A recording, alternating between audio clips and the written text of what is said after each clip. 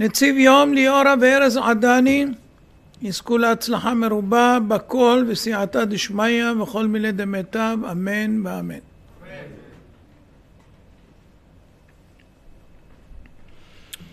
להתכונן כראוי לביאת המשיח.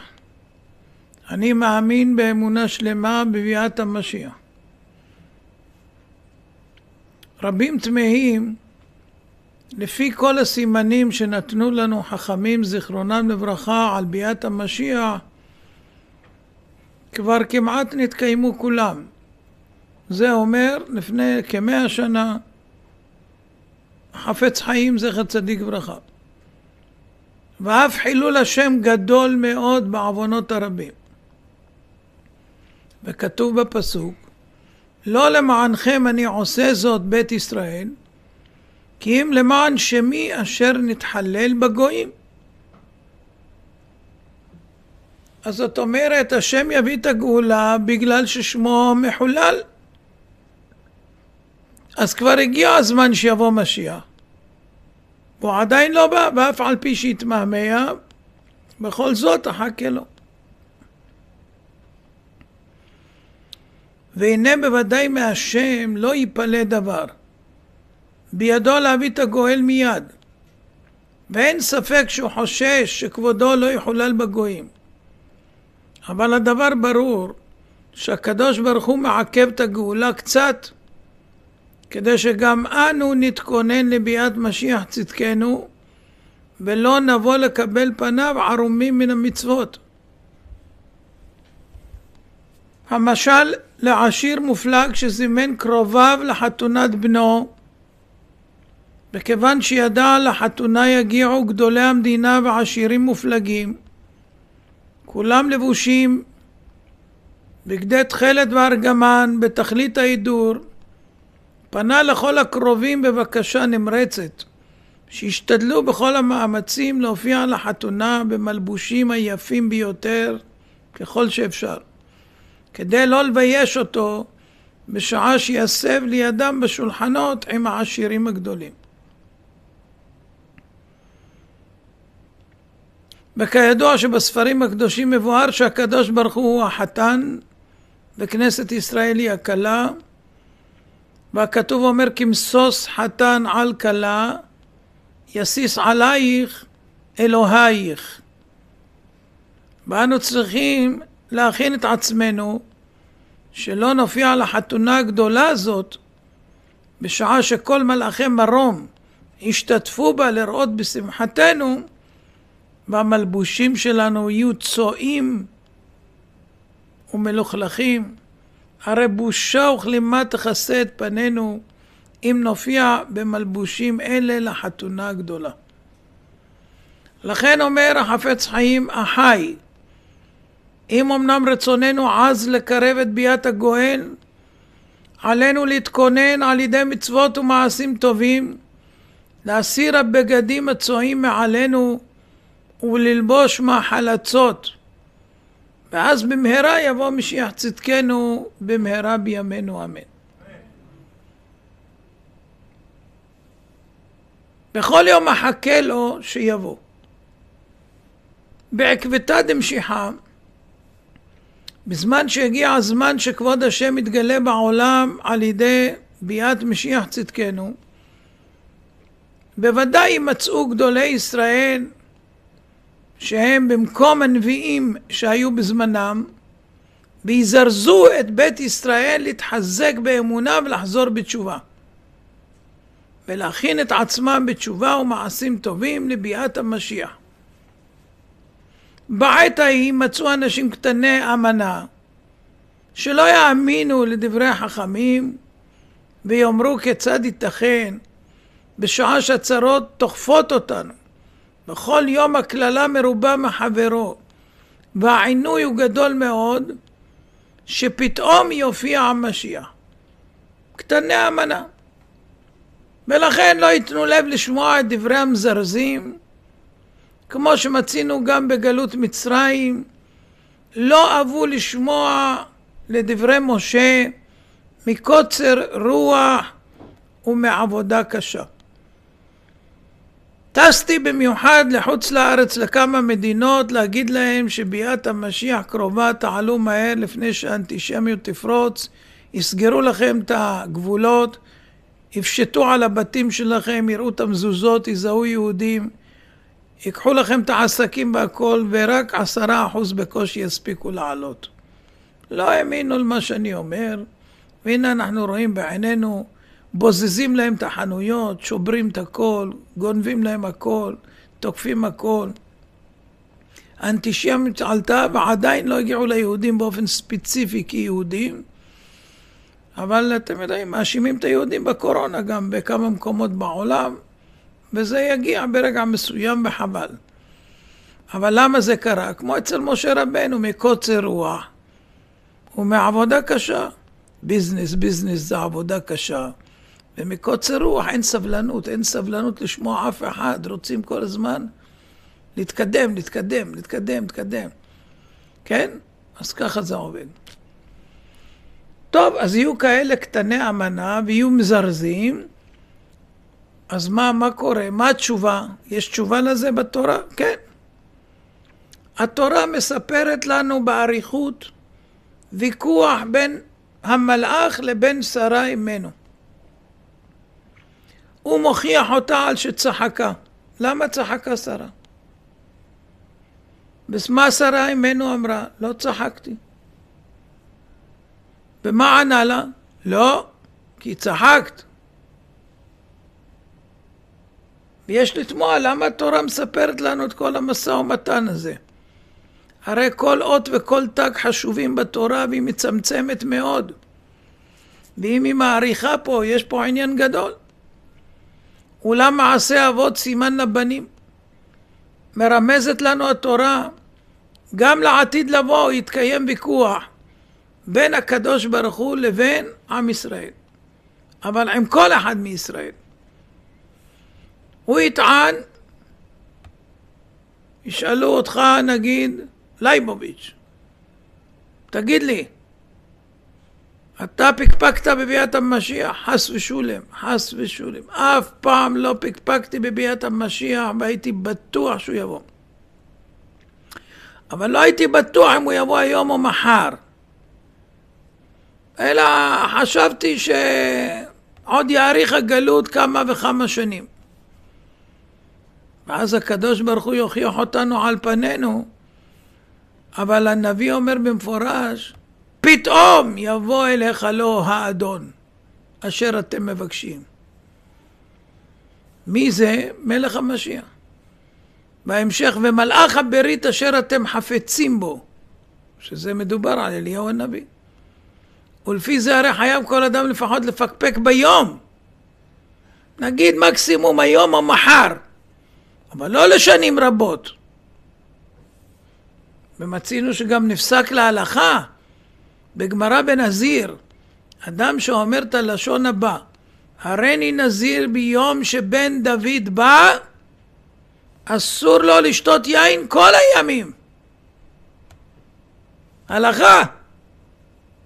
שמא יבוא באותו יום, חוץ מערבי שבתות שהוא לא בא. ואם כן, הרי מספקה צריך האדם להיות מוכן לקבל את פני מלך המשיח תמיד, בכל עת. מה זה מוכן? בתורה ותשובה, שלא יתפוס אותו ריק. ואם אין אנו רואים כן, הרי מוכח מכאן שעצם ביאת המשיח היא אצלנו חס ושלום בספק. ונמצא שכל הדיבורים בעניין ביאת המשיח זה רק מן השפה ולחוץ.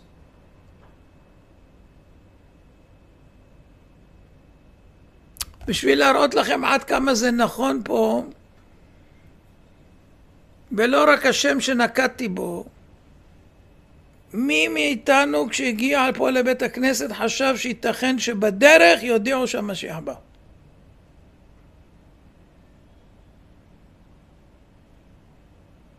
סיפרתי לכם שפעם למדתי חברותה עם הרב בירנבוים, זכר צדיק וברכה, והוא הלך ברחוב עם גמרא גדולה, לאט לאט, ואני עברתי עם הרכב, ראיתי אותו, צעקתי לו, הרב, הרב, הרב בירמבוי.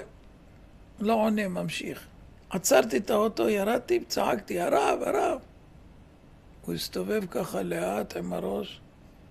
הוא בא, אמרתי לו, מי? הוא אומר, המשיח? אז צחקתי. אמרתי לו, למה אתה שואל שאלה כזאת? אז למה אתה צועק? אם צועקים, אז סימן שהוא בא, כי למה יש לצעוק? מה בוער? אם הוא בא, צריך לצעוק, אבל אם אתה צועק והוא לא בא, אז הוא שואל, הוא בא? הוא הולך ברחוב, מה מונח אצלו בראש? הוא בא או לא בא?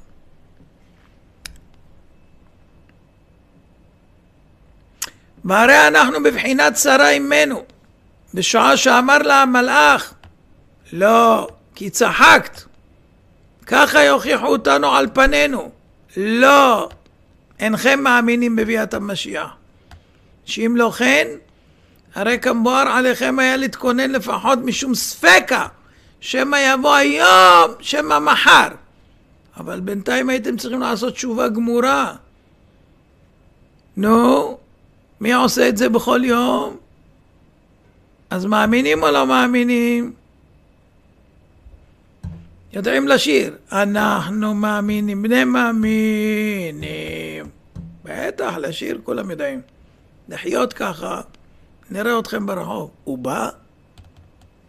איי איי איי, לא תשכח לי התמונה הזאת. איך הוא עשה את זה? אלוף העולם. על כן, אחי ורעי, שומה עלינו. כל מי שירת השם נוגעת לליבו, להכין עצמנו בתשובה ומעשים טובים, לקראת בואו של מלך המשיח לגאולה שלמה ואמיתית, שתהיה בקרוב, אמן. משה רבנו בא בקטע שהם היו במצב של קוצר רוח בעבודה קשה. אתם מבינים? אבל צ'יק צ'אק. לא עברו ימים ספורים כמו שאומרים, ויצאו גאולים ממצרים. אז הכל יכול להתרחש בכל רגע. בכל רגע. שלוש דרגות בישראל. לא לנו, אדוני לא לנו, כי לשמך תן כבוד, על חסדך על עמיתך. ישראל, בטח באדוני, עזרם ומגינם הוא. בית אהרון, ביטחו באדוני, עזרם ומגינם הוא. יראה אדוני, ביטחו באדוני, עזרם ומגינם הוא. שלוש דרגות, ישראל בטח, בית אהרון ביטחו, יראי אדוני ביטחו.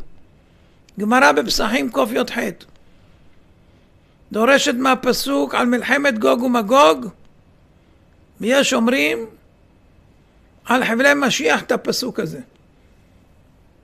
שהפסוק הזה מדבר למאן דאמר על מלחמת גוג ומגוג, ולמאן דאמר על חבלי משיח. יש להבין למה הכתוב חילק את ישראל לשלוש דרגות.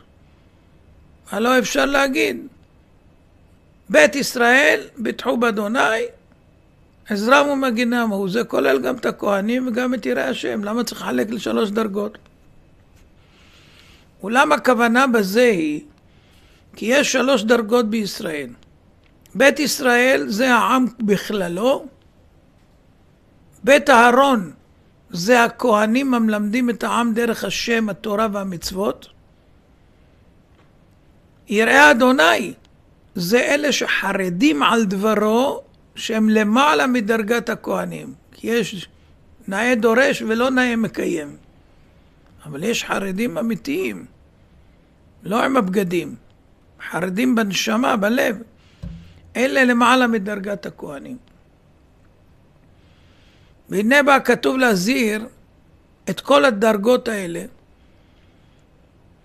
כי בעת שיבואו חבלי משיח, תהיה מידת הדין כה מתוחה על כל האומה הישראלית, על כל סוגיה, שכל אחד מישראל, אפילו הטובים והגדולים שבהם, חייבים לזרז עצמם בכל כוחם כדי להינצל ממידת הדין. כל אחד לפי מדרגתו, בכל כוח הביטחון אשר בו. ואז נזכה להיזכר לפני השם.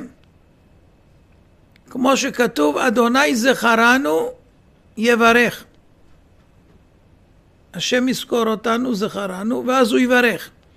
יברך את בית ישראל, יברך את בית אהרון, יברך יראה אדוני. למה עוד פעם פירט אותם לשלוש דרגות? כי כל אחד זקוק לברכה מיוחדת, כשם שכל אחד יהיה זקוק לביטחון מיוחד משלו. אז כל אחד לפי ביטחונו והכנתו, ככה יקבל ברכתו. אבל יהיה יום דין קשה. בין אם זה בימות משיח, בין אם זה בגוג ומגוג. אז כל אחד צריך להעתיק את עצמו להגיע לדרגת יראי השם. אם הוא רוצה את הברכה הכי טובה שיכולה להיות. ולהיות בעל ביטחון גדול מאוד. ועוד יש לומר, שמשום כך חילק הכתוב את הסוגים האלה, משום שכל אחד יש לו זכות משלו להיזכר לטובה לפני הקדוש ברוך הוא. כי בית ישראל זה עמך ישראל. נגיד שהם שומרים תורה ומצוות ותו לא. הכהנים זה כאילו מורי העם והמדריכים, אלה שמוכיחים את העם. זה כבר דרגה יותר גבוהה, הם כבר פועלים למען הציבור. יראי השם, הם כבר גם משמשים דוגמה אישית, לא רק אומרים מה לעשות, וגם עושים. אז לכן, משום שכל אחד יש לו זכות משלו להיזכר לטובה לפני השם יתברך, וכל ישראל זכאים לכך בגלל מסירות נפש, שמוסרים עצמם על קידוש השם, ומשום כך יברך את כל בית ישראל, את בית אהרון הוא יברך, משום שיזכור להם את זכות הכהנים המקודשים, בית חשמונאי שניצחו את אויבי ישראל וזכו למלכות.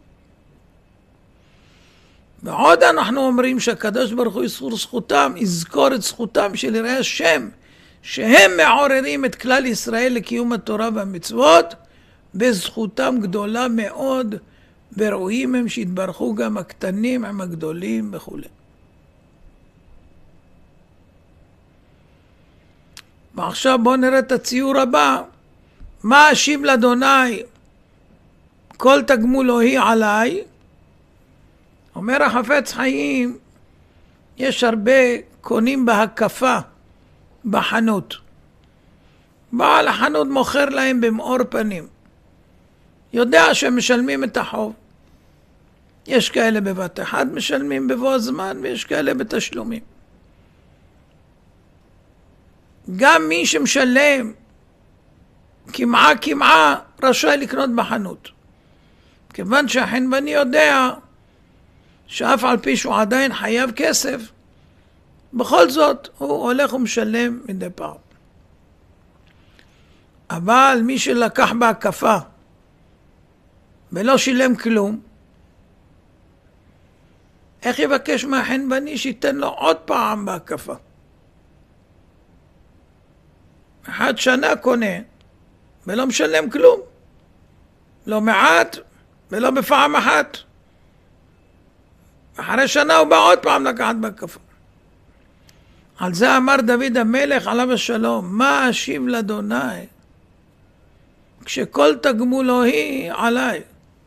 אם אני לקחתי הכל בהקפה מהשם יתברך ועדיין לא התחלתי לפרוע חובות אלא כל תגמולו היא עליי עוד, מה שאני צריך לגמול לו, לשלם, עוד לא משלם, הכל עליי. מה אשיב לאדוני? מה אני אוכל להגיד לו? אני רוצה עוד הקפה, עוד חיים, עוד בריאות, עוד זה, עוד... הלו, אתה לקחת בהקפה כבר עשרות שנים, עוד לא פרעת כלום. אז מה אשיב לאדוני? אם כל תגמול לא יהיה עליי. פשטייסט, המשך יבוא. Thank you.